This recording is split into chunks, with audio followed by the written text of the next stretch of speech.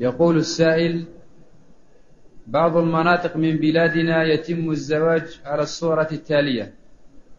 يحدد الصداق بقطعة ذهبية وزنها ست غرامات. لا يزيد ولا ينقص.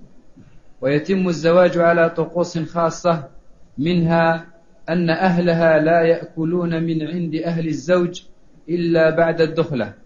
مع العلم أن كل شروط الزواج متوفرة.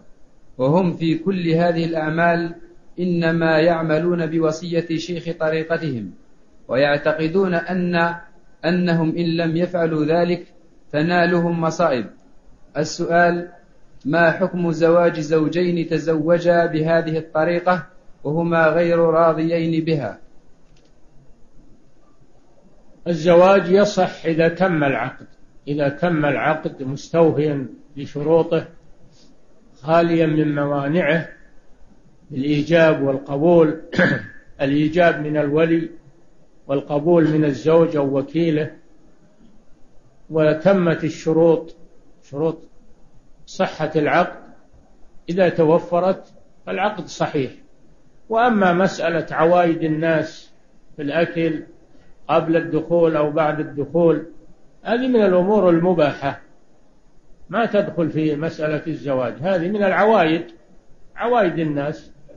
هذه من الأمور المباحة. يجوز أنهم يأكلون طعام قبل الدخول ويجوز أنهم يأكلون طعام بعد الدخول. يعني يجعلون الوليمة قبل الدخول أو بعد الدخول.